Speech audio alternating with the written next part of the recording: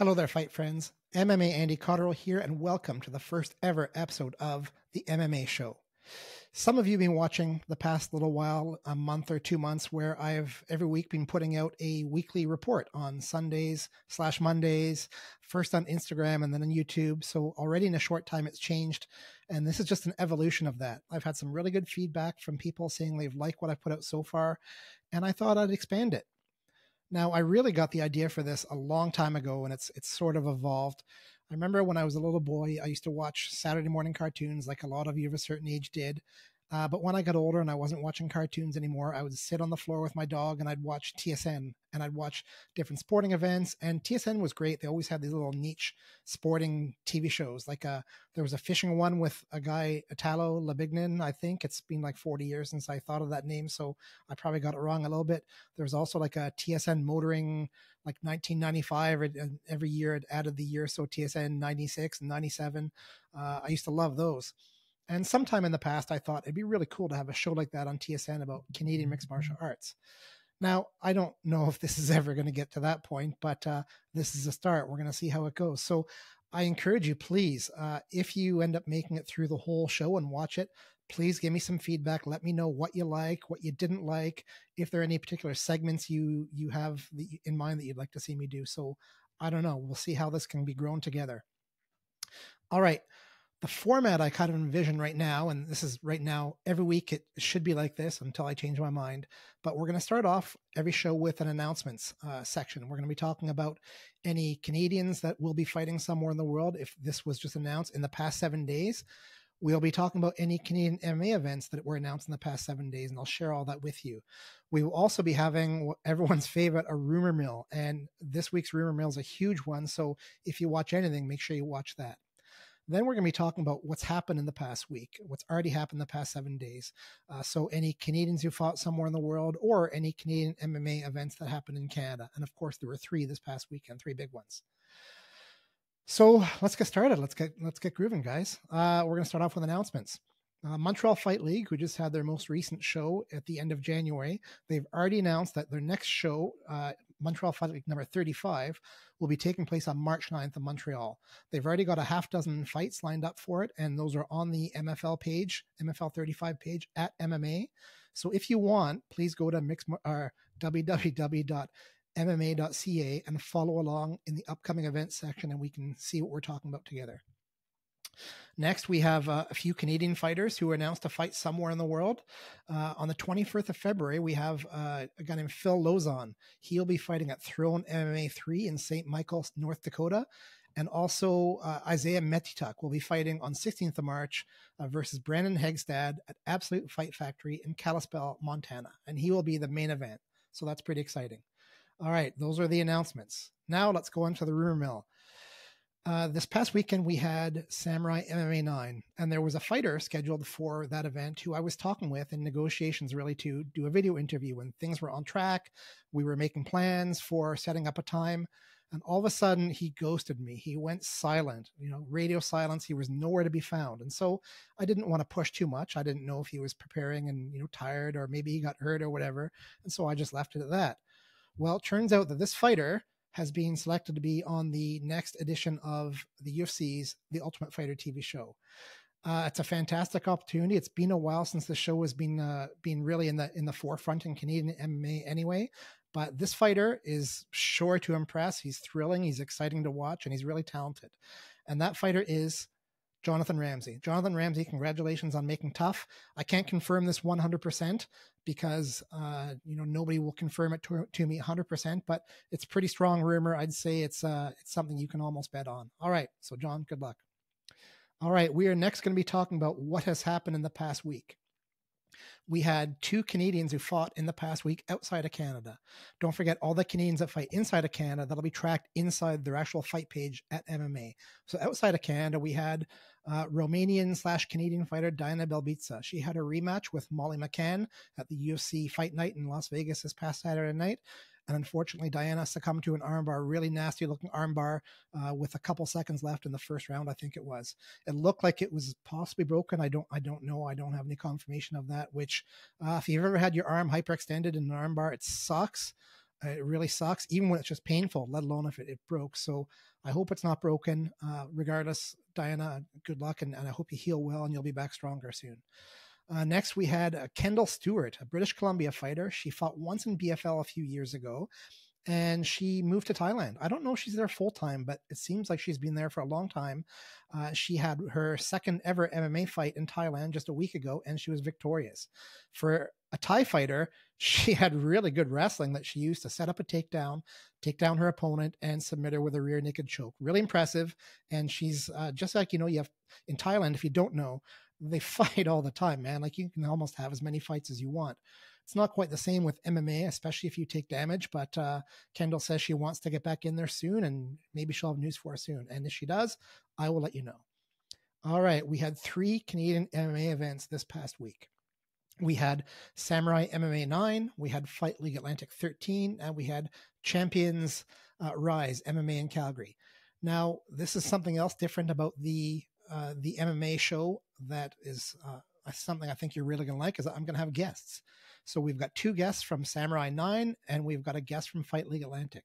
From Samourai, we have Alex Morgan, who won the main event, and we have Tommy Morrison, who came back from a thrilling uh, knockdown in the first that he was looking in, in, in, not very good shape, and he persevered and he won his fight. And finally, we have uh, the president of Fight League Atlantic, Derek Clarke. He'll be speaking with us about the, the event this past weekend and other topics, hopefully. So this is exciting. All right, now let's get on to the meat of the show. Let's start with Samourai MMA 9. It's a Quebec based organization and it's just been getting better with each and every outing, and Samourai 9 was no exception. Absolutely fantastic. Only seven fights in the card. However, it's a shame because I know the promoter Daniel Lafon had planned for a much different fight card, but it's been an epidemic lately in Canadian MMA. I don't know if it's happening elsewhere, but fights and fighters are dropping left, right, and center. So even the night of or the day of the fight, or maybe it was possibly the the, the night of the weigh-ins before this event, they lost half of their main event. Robert Series had a serious medical condition where he had to go to the hospital. Uh, there are some rumors saying what the medical issue was, but I don't know for sure, so I'm not going to comment on it. However, he he could not fight. It was it was evident, and this was no fake. You know, sometimes fighters, you know, pull out of a fight for questionable reasons. There's no question this was serious and severe, and so we wish Robert a speedy recovery, and you know, hope he gets back to training and uh, the rest of his life and his fight career soon.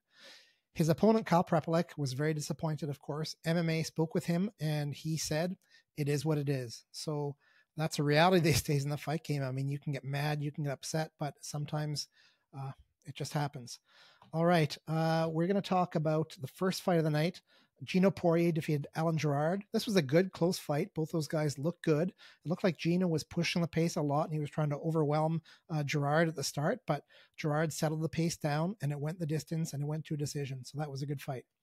Next, we had a new Niagara top team fighter, Keenan Keller, defeated Olivier Rain. Now, uh, Keller was from originally from British Columbia. He came with his girlfriend Alana Cook to Niagara Top Team, and he's been training and putting in the putting in the mat time, and he looked really good in this. He's a tall, lanky fighter. Uh, Olivia came on strong at the start of the fight. He was really aggressive and really he looked really strong. Uh, Keenan just it seemed like he had better cardio and he just kept on going and he he used his range to to dictate where the fight was going to go. And so he won that fight. It was good. Good look, good outing for both of the guys. Uh, congratulations to both. Even on a loss, you know, you can congratulate somebody on a loss if they did well, they did their best, they tried hard, and they look good. You know, you can improve, get back at the drawing board, and and take the next fight. All right. Next one Isabelle Lacroix defeated Justin Preed. Now, this is incredible because I was uh, fortunate enough to be at Isabel's first two pro fights. Her, both her and her husband, Anton Potowski, they used to fight for uh, Prospect Fighting Championship. And one thing I took away from her previous two fights was her really strong Muay Thai and especially her clinch. Some people forget about the clinch aspect of it. They think it's only ground and stand up. No, the clinch is in there as well. So Isabel really is able to dominate her opponents in the clinch and, and dictate where the fight goes from there. This was the the first time that I saw her really face any serious adversity. Uh, she was put down, she was mounted. I don't know, actually, I take that back. I don't know if she's mounted, but her opponent was on top, maybe side mount or something, if I remember correctly. And uh, Isabelle just looked really good in the ground. She's been working hard on her grappling. It's it's vastly improved her ground submission game, and she went for submissions. She tried different things, and she ended up winning the fight. It was a good fight. I think that's the type of thing that a fighter, if you have aspirations to get much better and get bigger, you really need to be challenged like that and sort of answer those questions for yourself. Like, how am I going to do if I'm not winning the whole time? How am I going to do if I meet somebody who's who's maybe a little bit stronger than me? And uh, Isabelle answered those questions. Good job, Isabelle. Next was uh was when I first saw it, I was going to be picking it fight of the night, and that was uh, until the Tommy Morrison fight happened, and that's the fight between Kevin Popwick Bastien, that's how you say, say his name, Kevin Popwick Bastien, against Antoine Chaput. Antoine Chaput has a very high uh, grappling pedigree, and so a lot of people thought that he was going to take this to the ground and, and win that way. Kevin was having none of it. Kevin faced a lot of adversity in the first round. He got his nose busted open. There was blood everywhere. And a lot of fighters would have given in and just said, Oh, fight's over. I'm done. You know, they would have been defeated. Kevin just stuck to his roots. He, he he's uh, he's a newfound wrestler now after his time with Niagara Top Team. Uh, you know, I'm sure he had wrestling before, but it's different now, and that really helped him out. Kevin was able to just close the distance, keep Antoine close, not give him any space. He couldn't really get his grappling grappling game underway, and Kevin ended up winning a decision. Not every decision, or sorry, not every victory can be a knockout or or, or uh, an impressive submission or whatever it is. Sometimes you just got to be the guy who's standing stronger and taller at the end of the fight, and that's what Kevin did. So really good job, Kevin. Uh, next was uh, Tommy Morrison versus Jose Sandoval. And to talk about that fight, let's now bring in our special guest, Tommy Morrison. Tommy Morrison, welcome to the MM-EH show. Congratulations on your win. Thank you. Samourai MMA 9, it was a fantastic event from top to bottom. It was plagued with a couple issues with fights falling out, but uh, when the fight fans came to the show to watch some fights, they sure got a fight out of you. Your fight was absolutely fantastic. Um, you know, obviously you have your battle wounds right now. You've got a big, big, uh, swollen black eye. You just woke up and you've got some stitches. How do you feel?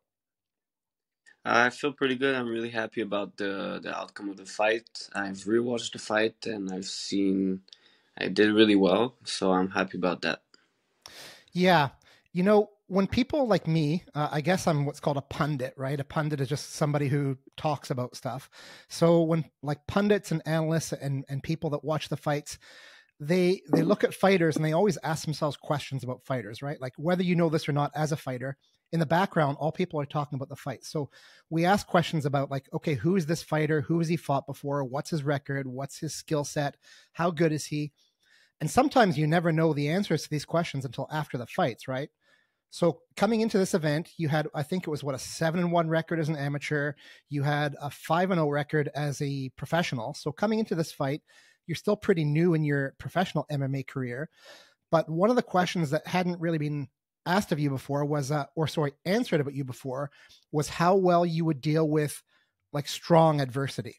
And you yeah. did that. You answered that question in this fight. In the first round, your opponent, Jose Sandoval, well, it looked like you can tell me how it felt, but it looked like you were rocked really bad and you were wobbly and you looked like had he gone strong, maybe he could have finished you, but you just gritted it out and you stuck through it and you you finished the round and then you ultimately won the fight. Tell tell me what you were thinking when that happened in the first round and and what you were going through. Uh I knew I could overcome adversity before this fight. I I never had that big of adversity, but personally, I I was always sure I could, and I showed that I uh, I could also.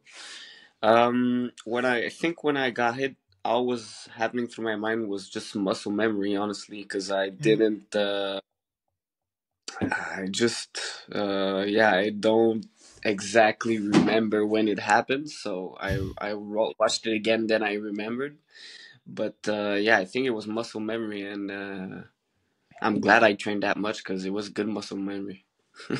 You're absolutely right. And something very similar happened to Kevin Popwick Bastien as well. He got really hurt in the first round and he just, you know, did what he did. You know, as a fighter, you, you train and you practice and you do the reps, right? The repetitions you do over and over and over. So your body, when you say muscle memory, your body just kind of takes over and knows what to do, right? Yeah.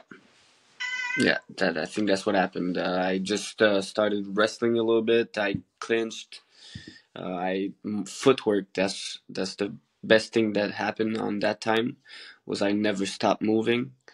Uh, he rocked me. I just circled around. Uh, I clinched a little bit, circled around. So I think that that's something I do real well.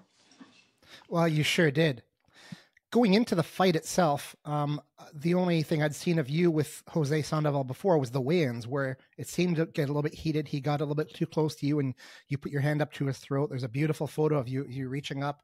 I don't know if you're uh, you're you're you're probably too young to remember this, but former Canadian Prime Minister Jean Chrétien, uh, he um, was do, going walking through a protest one time, long time ago, and a protester got too close, and so he did that. He took his hand and put it right to his throat and kind of pushed him away and that was forever known as the Shawinigan handshake because Jean Chrétien was Shawinigan. So you kind of gave a Shawinigan handshake of your own. What were you thinking when that happened? When he got too close? Uh, I thought about like pushing him a, pushing him in a way, but I just the second I was like, ah, that's too much. So I just pushed him a little bit, and it was it wasn't a deal in my head. It just uh, a normal waiting. You know, my all my waiting are kind of uh, intense. Uh, I like mm. to stare down opponents, and yeah, it was just a normal waiting for me. When you fight, do you? Some fighters have to look at their opponent as somebody they really dislike, that they hate almost, in order to fight them. Are you like that, or is it just a person? Uh, no, I don't. I don't hate them. I know uh, they, they they worked a lot to get where they at, and they worked a lot to get to prepare to fight against me. So I respect that. But at the end of the day, we're in a cage and we're fighting. So I mostly don't like you until the bell, uh, the final bell rings. When a, a question I, I often ask fighters, it's just kind of a, like a fun question: is would you rather win a fight? In the first five or 10 seconds of the fight with a KO or submission? Or would you rather go the whole 15 minutes or 25 minutes for a championship fight and win in the last 10 seconds? Do you have an answer to that? Um, I think the the last uh, the last five ten seconds of the fight, yeah. Yeah, that'd be thrilling. Because you get um, more experience and you get to finish at the end of the fight, so that's win win. I'd yeah, say it is win win. So you are now six and zero oh as a professional fighter, which is, is pretty awesome. And it seems like uh, Samourai MMA really loves you as as a competitor. They bring you in. The fans love you. You've got a really good thing going on. So, what's your long term plan? I know you're going to school. What are you going to school for? Uh, computer engineering at uh, University of Concordia. Well, I, ha- I know that computer engineers can make a lot of money, probably a lot more money than fighting. So, what is your plan? Are you going to be a pro fighter? Or are you, uh, you going to be a computer guy? Unfortunately, I decided to be a fighter. yeah, I, yeah. I'd rather. Uh, I think that's the. I want to have a plan B in case of, and you know, anything can happen in this game. So, uh, I'll have my degree in computer engineering, and I'll be. I'm, but my main goal is to be UFC world champion. So I'll keep wow, being fantastic. fighter until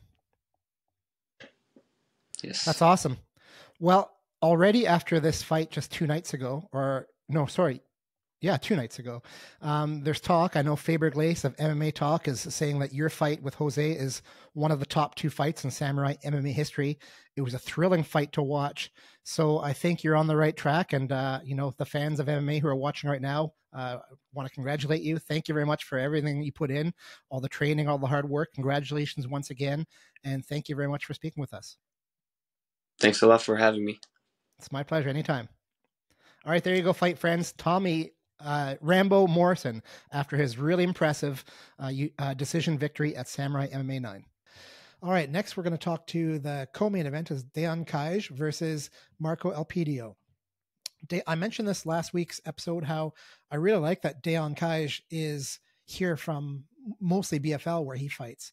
There's a really good relationship between BFL and Samourai MMA that I'm really appreciating, and I hope you do too, where there's not as much territoriality as there used to be a long time ago with fights. You know, if a fighter was fighting in one event, the everyone say, no, you can't fight on my card now, and it was kind of like backstabbing and all that kind of stuff. I never really liked it. So it was really great to see Dayon out here. Uh, it was a decision once again. Marco Elpidio came up from Mexico short notice after Kai's uh, initial opponent, Jonathan Ramsey, uh, could no longer make that fight because he was injured. Uh, nudge, nudge, wink, wink. And uh, it was a good fight. It was uh, two professionals went at it, and Dayon ended up getting the nod, and he deserved the win. So congratulations, Dejan. Finally, we have Alexander Morgan versus Alexander Horshanik as the main event. And now let's bring in the chess master, Alex Morgan. Alex Morgan, welcome to the MM-EH show. How are you? Good. How are you? I'm I'm well. Thank you for asking, but it, it doesn't matter how I am because what's important right now is you. You uh, were unexpectedly put in the main event of Samourai MMA 9, and you made the most of the opportunity, winning your fight in dramatic fashion you must yes. feel incredible right now.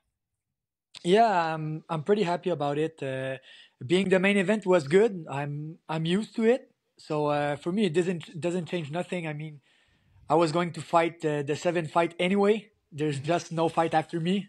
So uh, no, I was I, I, was I was ready, man. I full the place. Uh, people was expecting me for a, a big fight. Uh, I took this fight because for me it was a big fight and a dangerous fight and you know, when I take dangerous fight, I'm getting stressed, and when I'm stressed, that's where I perform the best. So that's why I took the fight, take it very seriously, uh, went in, and just do what I do the best, and finally mm-hmm. get a spectacular win. And I was pretty happy about that for a comeback. Spectacular is a, a great word for it. It was a it was a head kick and he he was done. Fight was over, and it was right at the start of the yep. fight too. So that had to feel good getting that just done and out of the way. All that nervous in your in your nervous system, it was all gone. Yeah, exact. What did you know about your opponent Alexander Horshanik before the fight? Uh, I know he was a he's a, he was a well-rounded MMA fighter. Uh, we watched a couple of videos. Uh, he dominates some people on the ground. He dominates on the on stand up. He had a couple knockout. I knew he had a lot of experience. Uh, so I knew he was he was going to be good and he he know how to fight you know he's he's good mm-hmm. i didn't let him the chance to look good but he's a very very good fighter talented fighter dangerous fighter too uh, mm-hmm. so yeah when when when i was going to fight him i was like fuck this is gonna be hard but man i'm the chess master and i'm i'm pretty sure i was telling myself i'm the chess master i'm gonna find something i can uh, can find a hole in his game and i will uh, i will use it to to to destroy him and uh, finally uh, I found this uh, this little hole in the game and I land the head kick. Some people mm-hmm. say I was lucky, but I, I I'm gonna tell you right now, it was all it was all uh, prepared. I I saw mm-hmm. it. Uh, I it was a good read. I read the, his his head movement. I saw this and uh, then land the head kick. and yeah, I'm I'm I'm gonna do a a video of about it this week to break it down a little bit. Oh, I can hardly wait to watch that. that. That always interests me how fighters and their and their coach coaching team are able to decipher an enemy and figure out how to to counter them. So it was beautiful on your part. That was fantastic. Thank you. So, yeah, I got the best coach, man. Uh, you know, Firas, uh, TriStar, uh, Donald Donald Ouimet, uh, ex uh, TKO champion. I, am well surrounded by good people, good training partner. Uh, I I can't ask mm-hmm. better, man. For for real, uh, I'm always well prepared. I have everything I need uh, in my camp to be able to to prepare for big fights, even bigger fights. Uh, I hope it's gonna come, and uh, yeah, so I'm pretty I'm pretty happy about that. When this fight was announced, when your opponent was named as Alexander, a lot of people in the MMA fight community were going, "Who? Who's this guy?" And they weren't really sure what to think, or maybe they thought he was just some guy brought in to lose. But I, and a pure fu- a pure fluke, unexpectedly, uh, during Christmas, I was in Alberta visiting my sister for Christmas and her boys. And while I was there, I asked Brian Bird, the coach of Champions Creed, if I could stop by a training session just to watch.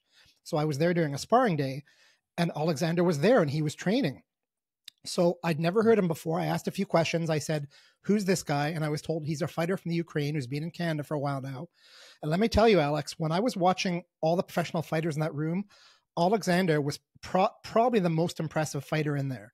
He was uh, there were a couple excellent fighters in there: Josh Fox, uh, Mac Lawson, and uh, oh, I don't remember his name, but it'll come to me. But Alexander was just from one opponent to the next opponent, and he was looking really good, and he didn't seem to get tired. He had a great cardio. So when this fight was announced, I even said in one of my videos, I said, you know, this is going to be a closer fight than some of you might think because Alexander's no, he's not a nobody. Yep. So the fact that you dispatched him so quickly and so impressively, I mean, that just I, I, I held you in high regard before, but you just went up a level in my book because you know it's air quote easy to beat a scrub. It's it's easy to beat a crappy exactly. fighter, but to beat somebody at that level and so impressively, that's that's really impressive. And you know that that's that's what I I say to people. Like I didn't give him the chance to look good against me. Uh, one of my strengths is that even if the guy's good, I always gonna make him look bad. You know, anybody in front of me, even if the guy is a fucking superstar, I'm gonna make him look get bad. Even if he beat me, I'm gonna make him look get look bad. So that's one of my strengths. And uh, people don't understand how good this guy is. Mm-hmm. And beating a guy like 18 wins, six losses that way, what else can I do more to get in the UFC? You know, what what else? Like, is there really somebody that will want to fight me in Samourai? Like, that's gonna worth it? You know? Yeah. I mean, I mean, I I, I don't know what to do more to prove that I deserve to be in the big league since so long. I know I had my mm-hmm. opportunity at Contender Series. I fucked up because I was stressed. You know, it's a different vibe. But man, if you give me a fight in the UFC anywhere, I'm gonna be ready, man. I, I mean, I took this fight. I prepared for this fight. I was ready for this fight, and you can see it, it went very well. I can do this to anybody in the world. I'm pretty sure. I'm, I, I, and I know it, and that's why I was so happy about it. Is like I had the the the the, the opportunity to show people who I am, like who I know I am. You know, I, I, I know who I am. I know this is me. This this was the the real fucking chess master. This is what I'm able to do, and this is what I can do to anybody in the world. And I believe in myself, and that's the most important thing. Even if people let down on me, I I, I don't care because I know inside of me that I have what it takes to be in this big league and to perform. Being in the big league is something, but like perform at that level, I know I can do it, man. I'm ready for it. You know, I have 20 pro fights in MMA, uh, one pro fight in boxing, pro fight in Muay Thai. I got the experience, man. I'm 32 years old. I'm in. I'm getting my prime. I'm ready for it, man. I don't know. For real, I don't know what's next for me. I don't know what else I need to do to prove that I des- that I belong in mm-hmm. the big league. But we'll see, man uh, we'll see. Uh, I'm just gonna be patient at this point. Take a step off and just you know focus on my gym and wait for a big opportunity. Mm-hmm. I'm going to read something to you that you, you posted uh, very recently. I'm just going to read an excerpt, so just a part of it. It says, "A performance of a lifetime. I had a fearful, experienced, and dangerous opponent in front of me. Throughout the fight, I was able to stay calm, follow my game plan while maintaining a solid defense, while maintaining a solid defense, sorry, I repeated, that made sure my opponent wasn't able to touch me once. This training yes. camp has been extremely stressful, and I've put a lot of pressure on myself to be able to perform. This training camp was definitely a con- continuation of a journey where we worked together to up my MMA game. It's been a long process filled with small tweaks, but I finally feel like the puzzle, all the puzzle pieces we've been building for years together, are coming together nicely. Yes. Some people when they they watch fights, they only watch the fights, right? So they'll tune into a to a fight event, a UFC or something. They'll put it on the TV, and from the start to the end, and that's it. It's over for them. But for the athletes, this is your life. You you're you're a, a head coach at one of the TriStar gyms in Rivière Nord, so you're always training every single day. I, bet. I bet you don't even take a day off. You're either training yourself or you're training other people. And when you're not training you're probably thinking about fighting. Exactly. Yes. Yeah. So this is something that you know fighters are people. So you've got hopes you've got fears you have everything else that everyone else has with regards to your career in the fight game. You mentioned briefly why this one was so special for you what was the most fearful thing about going into this fight for you not to be able to perform as I, I'm able to. You know, I, I want it so bad to show to people, like I said, that who I am, like who's the chess master. I was scared to to lose in front of my people. I'm not scared of getting hurt. I'm not scared of getting hit. Mm-hmm. I'm scared to lose because when I lose, it's it's like I know I know people don't see it like that, but me, I see it like I let people down. There's so many people that believe in me uh, having my own gym, you know, that's mean I have a lot of people. If you went to La Tehu this weekend uh, to see my fight, dude, I sell the place, man. Uh, I'm the, I, I, put I put ass on seats, and, and I heard you sold a lot of tickets. Ask, yeah, you, you can ask anybody, man. The chess master put ass on seats. That's that's all matters. People come to see me. People like to see me fight. People like me as a fighter, but I believe they like who I am too. You know, my gym is going pretty well right now. I have a lot of members, a lot of people, different people. People do it recreational, people do it for competition, you know. And I, I treat everybody equal. And I believe this is one of the secret is like, yes, I'm an animal in the cage. I, I want to perform. I want to kill people in the cage. But man, I'm a good human being and and I, I, I want to prove to people like around around me that yes, me I do it through fighting, but everything in life you want to do, you can overcome that's what I want to tell people. That's what I want to show people. You know, even if I lose my last fight, I was like, yeah, I lose my last fight for sure. The guy was uh, uh, one um, uh, category over. You know, he's bigger guy. is not my weight. Lost in a close decision. But yo, guys, you know what? I just bounce back. I come back. I fight in my weight division against a top opponent. Fucking knock him out. That's how it works, guys. You know, that's that's what I I want people to know. And um, yeah, you mentioned it. Having a gym is is pretty good for me. You know why? Because see, it's Sunday. Sunday is sparring. I just come back from sparring. You know, and I put the gloves on for the the boxing coach. Our boxing coach is going to fight, so I put the gloves on with uh, with my coach. Uh, it was good. It's good. I like to spar, man. I like it's my happy place. I like to be there. Uh, when I when I'm not uh, training, I'm train people, and when I train people, you know, it's for me, it's like a a, a workout because I train mentally my brain. I I explain movement and technique, and it go like through my brain, and uh, I, I keep repeating this. You know, sorry for my English, man. I try to explain the more I can, uh, but. Uh, you know it's always it's always in my head and i think and i think and it make me think to other thing and new techniques so i can ask Firas or, or Donald, you know, hey, what you do with this technique, this technique. So so for me, it's mental training, and it's the best thing I can I can have. You know, the gym. It's uh, I can live from my passion. I can stay in the gym. I have fun. You know, my life is good, man. Uh, even when I lose fight, my life is good. I like it. I like my people around me. I'm surrounded by good people, and uh, yeah, the, that, that's it. Well, it sounds like uh, you've you've got a really good life. Yeah, I, I like I, I like uh, I'm a happy I'm a happy guy. You know, I'm a happy guy. Uh, just winning fights is just the it's just the cream of the cream. You know, it's it's, uh, it's some, some gravy. I'm pretty happy because I put so much so much time in it. But uh, I, I like what I do, man. You know, I'm I'm a martial artist. I'm a fighter. I like fights. I like uh, I like help people. I like uh, I like to be in the gym. For me, it's great. It's grateful for me. You know, uh, to help people is good. I know I, I I'm here. Yes, yes, I'm a coach, but I'm more than a coach. I'm a, I'm somebody to look at for a lot of people. And you know, you ask me one of my fear is I don't want to disappoint them. Mm-hmm. You know? Well, Alex, it was a fantastic fight. It was thrilling to watch. I, I, don't like asking the question that some reporters do when they ask right away, like, what's next? What are you going to do? I'm sure you really have no idea yet. It's going to take some time. You'll sit down with your coaches and your team and you'll figure it out what's what your future is going to look like. Regardless of what happens, I'm confident you're going to do well and you're going to excel at whatever it is you, you challenge. So, congratulations once again. Is there anything you'd like to say before we go?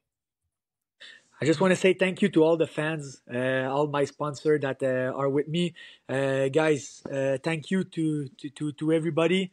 Uh, for support me. And uh, thanks to you too to uh, receive me in the podcast. guys, I have to follow this guy. He's, he's, doing a great job. So thank you to everybody. Thanks for supporting me. And I love you guys. I'm sure he is just thrilled with the result, uh, coming off a loss. So it's always good to get a win back in the column. And he's right. I mean, what can he do next? I mean, it's clear that he's one of the top small handful of fighters in Canada, and I would love to see him get a chance in the UFC or PFL, Bellator, or one or anywhere. So we'll see how that goes. Our next guest, as I mentioned before, is the president of Fight League Atlantic, Derek Clarke. Derek Clarke, welcome to the MM-EH show. Thanks very much for having us, Andy. Oh, it's it's my pleasure. I'm really uh, thankful that I get to speak to you because you have just since well, you and Fight League Atlantic, your promotion, your mixed martial arts promotion, since you've come onto the scene, you've just very slowly and steadily uh, been climbing that hill, man. And your promotion is absolutely fantastic now. It was it was it was really good before, but you're reaching whole new levels now. Fresh off a, a pretty successful weekend, I'd say Fight League Atlantic 13. Just give me your overall thoughts on the event and how it went. Sure. Uh, again, thanks very much for the platform, Andy. We very much appreciate what you do in Canada. Uh, it's you know it's it's not an easy job covering mixed martial arts, so appreciate yourself and, and all the other guys and girls who do cover the sport. Um, from on behalf of John and I, we want to thank everybody who does show up, support our events, our sponsors, athletes, teams, coaches, everybody involved, our staff.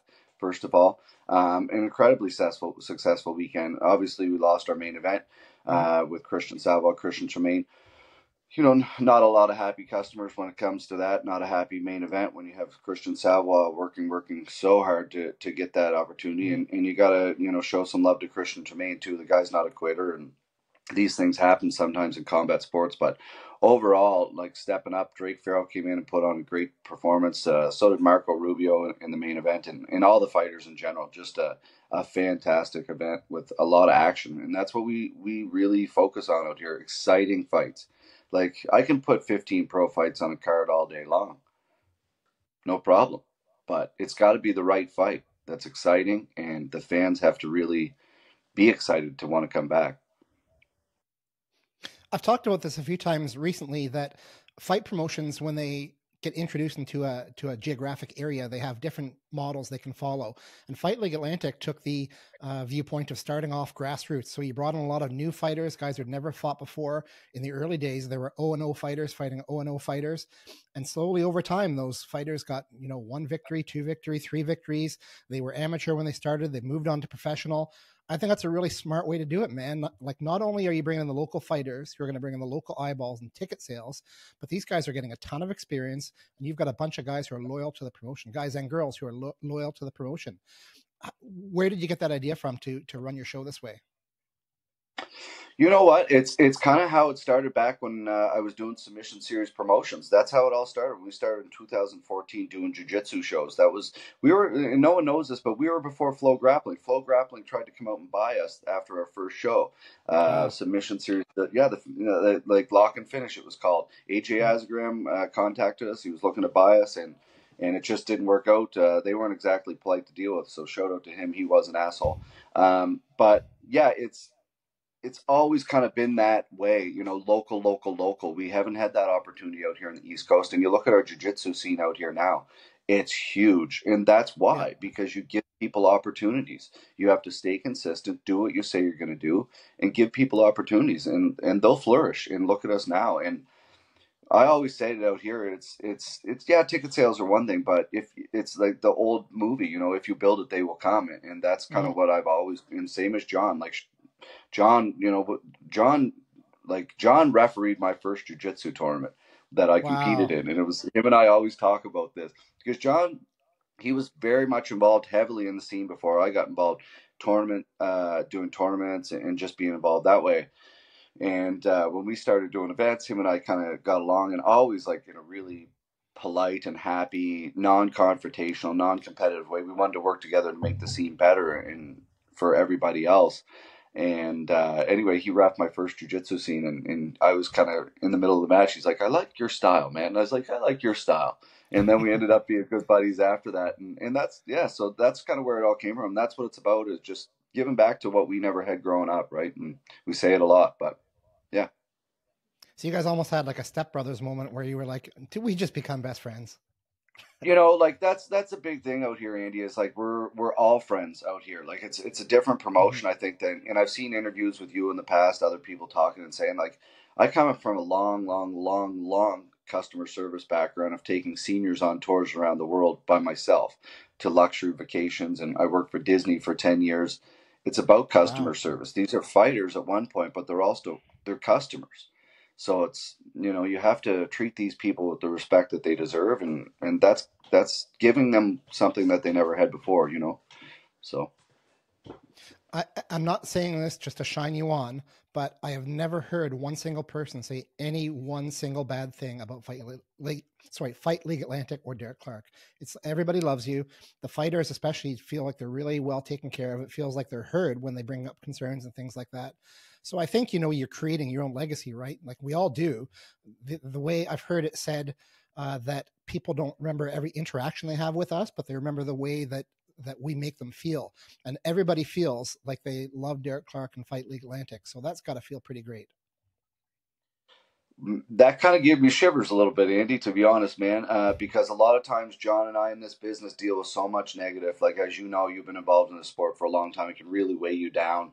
Um, you know, like just some of the emails you get and the negativity that people really come come at you with can really be hard. Um, and it's it's hard to notice the happiness or the positivity. Like we just we're just ourselves and, and there's no fakeness about it and, and that's the way it should be and that's very kind of you to say and very kind of you know we get into it with athletes you know it, it happens all the time it's a, it's a it's a passionate high intensity sport. There's a lot going on. There's two shows running at once.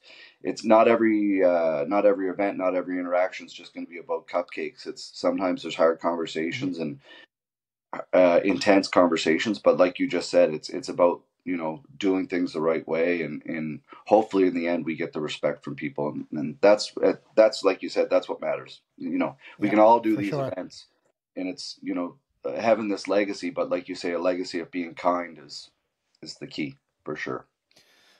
Another thing i really like about fight league atlantic and this is a selfish perspective from somebody who covers the sport. As you know my website mma.ca i've got an upcoming event section where i list all the fights in canada.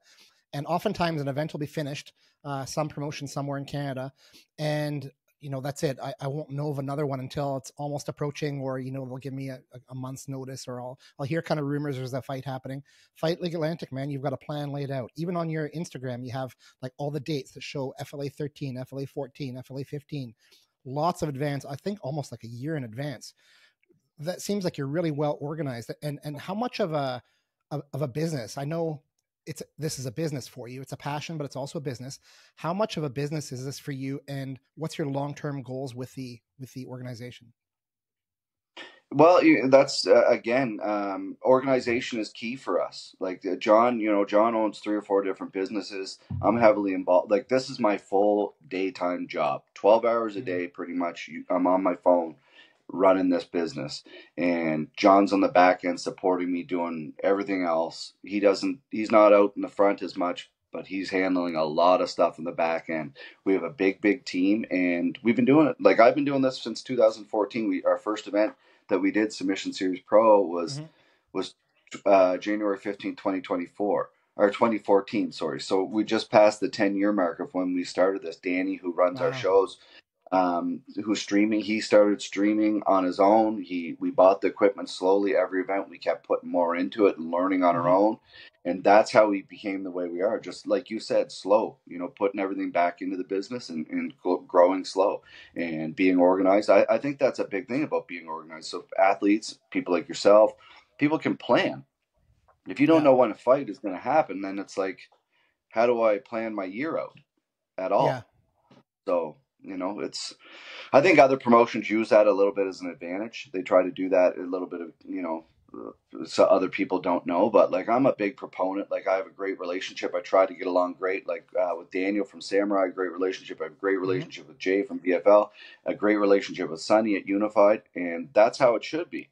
Like we're a small country with a small group of athletes. At the end of the day, everybody's trying to get to the next level. So we got to all mm-hmm. stop competing against one another and realize we're all trying to get each other to our level, but the UFC is where everybody wants to go, or Rizin, or wherever they want to go. So the more yeah. we can work together, the better it is for our country.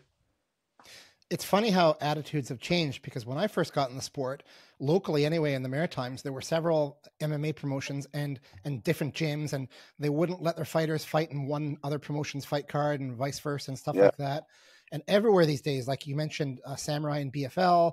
Uh, when I went to Durham Fight Series uh, last year for the first ever event, they had the Durham Durham Fight Series guy. They had Woody from BTC, and they had Jamie from yeah. Uh, Prospect, all hanging out together. Uh, I think I saw you at the one of the Sa- Samourai Six. I saw you and John there, or maybe just you. Um, so it's wonderful. I love it. Absolutely love it. That you guys are getting together and it's like it's I don't know if one big happy family is the right phrase, but you guys are all having having a common goal. You're working towards MMA getting big in Canada and just doing well and letting the fighters fight.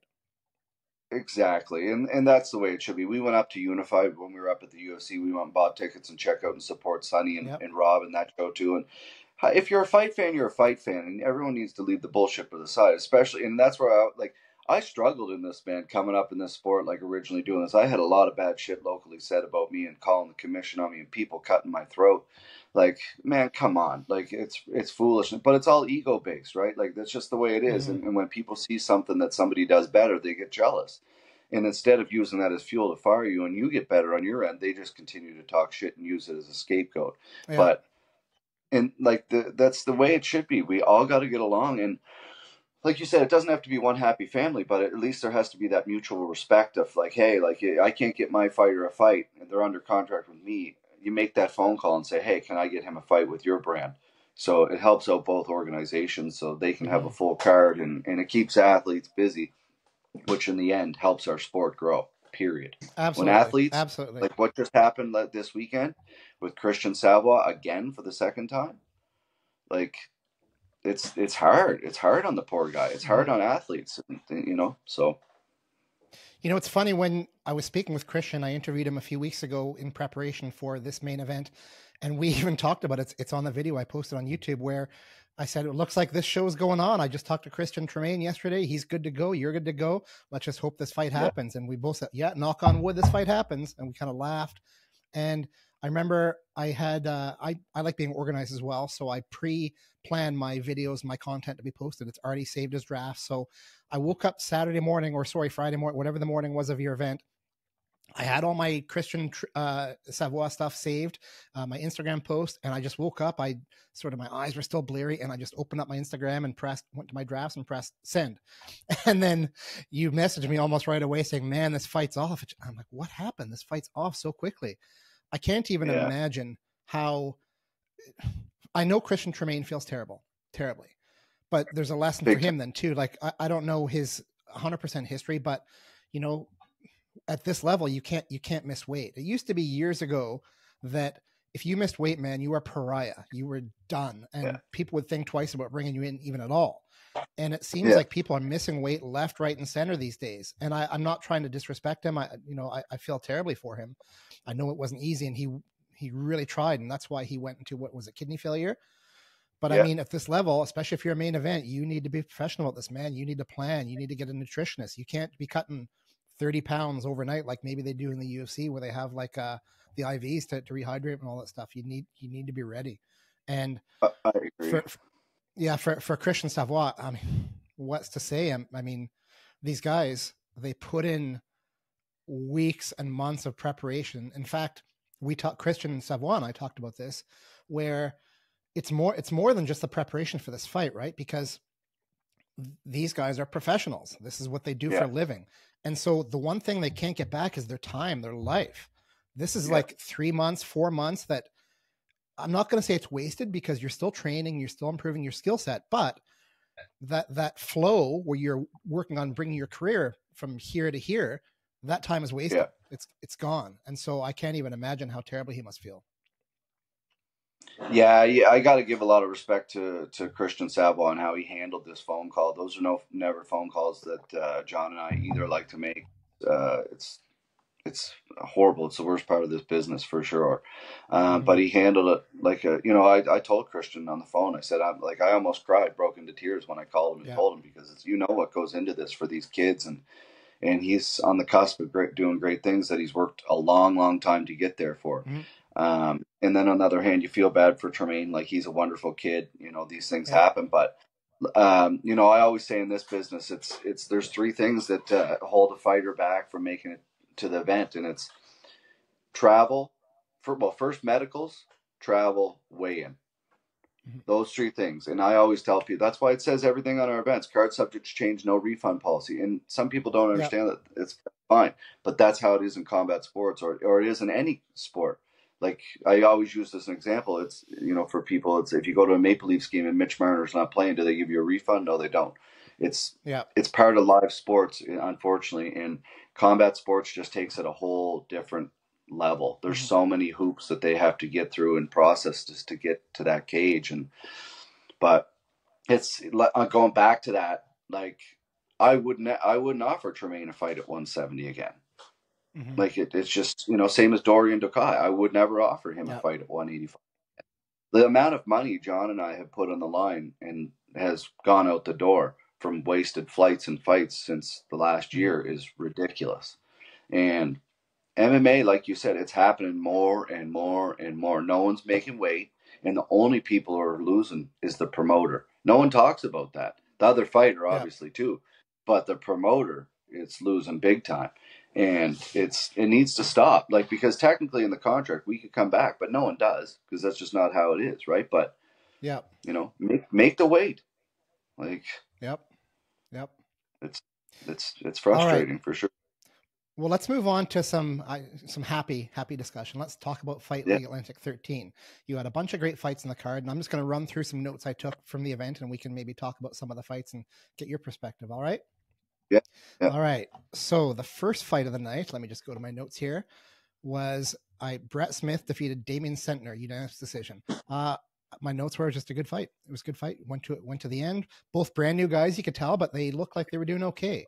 Um, they were uh, uh, very clearly new fighters, and you can tell they learned a lot. It's one of those things, right? Like everyone thinks they can be a fighter. I'm not talking about these guys. I'm talking about people in general. Yeah, Uh, Yeah. But so, and even these guys, I'm sure they've been training for a while, but it's exciting to know they had their first ever experience and they finally get to go now. Oh wow, that's what it's like to be a fighter. Because in the gym, in the gym, you know, you, f- you're you're invincible. You're doing great. You feel good on yourself, and then you get into a cage against somebody who's not your training partner. He's not your friend. He's not going to go easy on you. He's trying to trying to win the fight too. And so, Yeah. you know, that that was that, that was what I took out of that fight. It was a good fight though. Agreed. I, they're very well said. That's exactly you know two young guys who a couple both them. The backstory between those guys they've they've competed each other in grappling local grappling tournaments like four or five times. So it's a funny matchup because they knew each other so well. They've competed each other against against each other so much, but never in a fight. So I was interested to see what would happen between the two, and they and they both showed up. It was a great grueling fight between two big kids, and like you said, it was you know it's there's why the certain cards are built a certain way, and and I always say the first fight on a card is is just as important as a main event. Sure, Um, very much the like tone. the UFC does sets the tone, right? And, and that's why that fight was was first. Awesome. Okay, we'll go on to uh, Matt Swan defeated Cody O'Halloran. Now, when I posted my results for FLA 13, I gave a, a certain fight a fight of the night, and somebody commented that this should have been the fight of the night. I agree, it was an excellent fight. Uh, Yeah. what, what are your thoughts on that fight? It was a phenomenal fight. That's exactly what fans want to see. You know, Mhm. like, and that's what amateur fights really bring. Like, there's no Yeah, hold yeah. up, there's no hesitation, right? Like, they're going for it. And man, like, what an exciting fight from both those guys. There was everything you want in a fight. You know, they finished with a submission. They both dropped one another, and it was awesome. Yeah, great, Yeah, great, great good. fight. I, I, I've been in the middle of dealing with this snow, so I haven't had a chance to to think about the fight tonight at all. But I would say, like, just I'm just trying to think right off the top of my head. Like, it was, yeah, it was one of the top ones for sure. Great Awesome, good. performance. Two guys who are over six feet tall that are fighting at 140 pounds. Crazy. Oh, I didn't realize they were that tall. Holy moly. Yeah, yeah. Okay, we're not going to talk about every fight, but uh, we're going to go on to Chris O'Toole. Great debut, really strong is what I put down. I remember that he won his fight. Uh, he looked really good, and that's one of those things where you never really get an appreciation of, of how good a fighter is when a fight's over pretty much that quickly. Sure, it's impressive. Sure, it's great, but there's still a lot of questions to be answered about this fighter. Like you need to see him face some adversity, but uh, you, to, Yeah. to to really know, you know, what he's got. But he looked really impressive, and it was a good start as far as I'm concerned. He did, and, and it's funny because that guy's like he's a super high level wrestler, like almost made the Olympics, Mhm. like very good wrestler. And he always says, he's like, no, I'm fighting this fight on the feet, and you know, he certainly did. He he put out a Mhm. top prospect in Ben Lease. You know, Ben has had the Maritimes on hold here the last couple months, just being a little bit of a star, and and and I think that was a great fight for both of them. You know, it's that's again what the amateur ranks are about. Um, and Chris showed a, great game plan, came out, overwhelmed Ben, and uh, super humble in defeat too. So, or in in the in the victory. So, Yep. yeah, great I'd fight for both guys. Hunter Savage said, Chad Cox, his coach, taught him how to be humble and how to love himself. And this is something that that people involved in martial arts in general know and understand is that sometimes a martial arts environment uh, can be life changing, literally life life changing. For some people, it can show you the first bits of of positive human interaction. You can have parental figures. You can have, as a coach, a, a good coach can be there for you in life, can really teach you how to be a person, a yeah. good person, not just a good fighter. And so when I heard those comments, it just made me all nice and warm inside, and I loved it.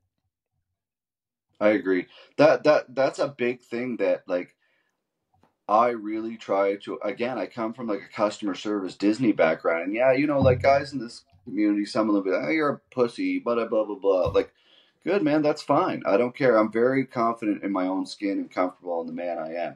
And that's just the way that I believe our athletes should be. Like and Chad Cox is a very similar mindset the chainsaw, a great guy, and being humble. Like there's a guy who's put a ton on of miles on his body. He's done a lot for this community out here, um, and I love seeing him find success in, in, in that gym. He's a great guy, a great part of this promotion, and and that's the way you. Not everybody, you know, I'm not the bot by any means. Not everybody has to be humble, mm-hmm. but. Uh, it's a wonderful thing when you see a kid that young come off of such a great finish, be that composed. Yeah, awesome. Okay, let's move on to what I said was a fight of the night. Dylan Shepard defeated Devin Turner with a unanimous decision. What were your thoughts on that? Were you able to are you able to watch every fight when it's happening, or are you busy doing promoter stuff in the back? No, uh, John and I actually sit cage side. Uh, so a lot of people probably don't know this. They probably see me on my phone the whole time. I'm dealing with pay per view issues or I'm dealing with whatever mm. uh, throughout the whole time. When they're when they're having issues, I'm the one that's dealing with because we just don't have a customer service department yet. But then I'm also the one who's posting the winners. So uh, I'll run back, you know, hey, great job, great fight, post the winner. Then I got to go on Facebook, delete the win. Like there's a whole process that has to happen. Sure, so there's yeah. a lot of work that goes on behind the scenes. But I do, for the most part, get to watch some fights. Some events, it depends what happens. You know, sometimes you're out back, sometimes you're whatever you're doing, uh, deal putting out a fire. But this event, um, it was great. I was able to watch a lot of the fights, and that was one that I really wanted to catch. Um, uh, I have a lot of respect for both of those kids. Both of them um, come from different kind of walks of life, um, but both very similar kids and uh, just humble, humble, uh, and gracious in defeat. Devin Turner was. He put on a great fight. Uh, didn't fight the fight that he wanted to fight, but you know he ran into Dylan Shepard, who was, in my opinion, one of the smartest fighters on our entire roster. Mm-hmm. Uh, the kid's a very, very talented fighter, great fight IQ, and, and just getting better. Um, wasn't the most exciting fight, I don't think, for uh, what they thought. Like obviously, they were mm-hmm. probably Dylan was probably trying to get the finish, and, and same with uh, Devin trying to keep it standing up. But that's a championship fight, and, and Dylan fought a smart fight to, to take home the second uh, belt. And, and I loved seeing an amateur defend the belt because we haven't seen that yet. Uh, everyone's gone pro, which is understandable too. But uh, in my opinion, it's great to get that experience, get another belt, and then move on. Yeah. One of the things that people might not realize is that sure a, a knockout's exciting. Sure a, a, submission can be thrilling to watch when it happens. Yeah. but sometimes when you get two fighters who are very close you're not going to have huge advantages right? It's a game of maybe it's not a game of inches like in football but it's a game of millimeters right? Like you yeah. you, you, you, juke left and and you know you miss that strike that could have knocked you out. And you know small little increments like that mean all the difference. And when those two guys are so evenly matched i'm sitting on the edge of my seat watching fights like that. I love it Exactly. Like that that kind of fight could have changed hands very quickly. Like mm-hmm. you know, D- Dylan was doing well the first two rounds. Devin came back a little bit in the third and fourth, and, and, and Dylan turned it on the fifth. And but there was some, you know, there was great grappling exchanges, and it was and it was exciting from my end too, start to finish. So. Okay, let's move on now to the main event. Drake Farrell defeated Marco Rubio Antonio Aguilar. TKO punches from the back mount, 237, round two that was a good fight. Drake Farrell, I, I, confess I didn't really know too much about him. So when you mentioned to me on the on the day of the fight that he was being brought up for the main event, I did a quick little research and he's a he's a good looking kid. He looks promising. He's got some good talent. Very much so. He's a, a kid who's been competing for us since he, he like he competed I think in my second ever grappling show, and he, he's a guy who trained with Ken Peters down in Cape Breton, and then made the move to the mainland. Now he's with uh, he was with TJ, and um, he was training with us a little bit in Pictou County Jiu Jitsu on his way to Halifax. He's made all the stops at Merrimack and Truro, and then he finally found his home with uh, with Gavin at Tower One and the team there. So he's a stud of a kid. Uh, another young, hum, humble, wonderful kid. Uh, I love the guy. I think he might like he's a red seal already. He's got his education taken care of, and uh, and he works full time down in the shipyard there, and and does this as well. So he's a he's a great kid, great family who's uh, supported him all the way, and uh, and uh, shout out to Marco as well for doing. Uh, oh, oh, you still there? Yep. Yep. Uh, sorry about that. Uh, shout out for right. uh, Marco. Fantastic fight. Not a fight that a lot of people are wanting to jump in there to take. So Yep. great for him. Stepped up and uh, he was bringing it. He was fighting the whole time. And uh, again, it's uh, we'll see what happens with him. He's another guy we're going to bring back very soon. And uh, yeah, you'll see lots of. Good. Awesome. Good to hear. All right, Derek. Uh, before we get going, maybe you could just give us a sneak peek. Do you have any plans or any big news you can share about Fight League Atlantic 14 and maybe a main event? Or do you have any fighters in mind that you know are going to be on the card already? You can give us a bit of a sneak peek. Sure, yeah. Uh, we we do have uh, we have about five or six fights lined up for that card. We're getting all of our media out from this card here in the next seven days or so. Seven to ten days usually is what it takes for us to get all of our media out, um, and then we'll start dropping these fights. Um, nothing on a main event yet. We do have uh, one that we're looking at. Um, very much, you very well might see Christian Sabois be the main event of this Mm. card as well. Um, you know, this kid again, he's been through the rough Yeah. in the ring and uh, you don't want to leave Christian on the shelf so long. So if if we can find him the right fight, which is our plan, uh, he will be the main event at FLA 14 as well. Awesome. Um, Good. so so yeah, we'll we'll see what happens. Uh, we have a couple other great fights in there. We're not going to announce just yet, but we, we do have the Kumite uh, scheduled for Friday Mhm. night, um, which is uh, a grappling show. Which uh, we have uh, an eight uh, female bracket, a sixteen male bracket, and then uh, who knows uh, who you'll see in the main event there. We got a high level guy that we're looking to bring in the, the main event. Um, but yeah, you'll definitely in FLA 14, you're going to see some some some very familiar names uh, from the community, uh, guys who've been around for quite a long time and, and deserve the shine. So uh, happy to have them back, and, and then we're going to move into FLA 15. Our first fight uh, card in Halifax, uh, the Halifax Regional Municipality Dartmouth Sportsplex. Super excited about that, and we have a huge main event lined up for that fight that uh, we'll we'll talk to you about in the next couple, couple months. Once once we get it finalized, I'll I'll pass it over to you. Awesome. That's good to hear. I, I love it. I'm really happy for success, Derek. Congratulations on everything. Um, I don't have anything else to ask Thank right you. now at this point. I just want to thank you for being a part of the first ever MM-EH Show. I don't know where this is going to go yet, but maybe it'll be uh, something bigger and better someday. Like like Fight League Atlantic, it'll grow slowly and get to be where it is now. Uh, so thanks a lot. I appreciate you, Derek. Hundred percent, and very honored to be on the first episode, Andy. You've done a lot for the the sport in our country, and a lot of you guys don't get the recognition that you deserve. Um, you know, it's it's an uh, a thing that a lot of time, you know, it's it's not a high paying thing. It's it's not a it's done of a lot of passion a lot of the time. So you be very proud of yourself. You've been a great uh, uh, addition since the beginning of Canadian MMA. Yourself, Faber, and Dylan, and, and a lot of others. So keep it up. Did you say it's not a high paying gig? Wait, are there people getting paid for this? yeah, yeah. Well, it's like MMA as a promoter, man. It's the same thing, right? Like it's it's Yeah. it's not a high paying like promote people who think you're making money in promoting, you're you're sadly mistaken. It's it's Yeah. a long grind and it's all of this stuff in combat sport and that's why again going back to working together when you work together we you know it's as we all said like i was saying to sunny you know rising tides sail all ships and and and that's a very important thing that we should all remember Yeah, for sure. I, I remember when I was writing for Sherdog all those years ago, it was a great gig, right? I made some decent money doing it as just a part time gig when I was in the military.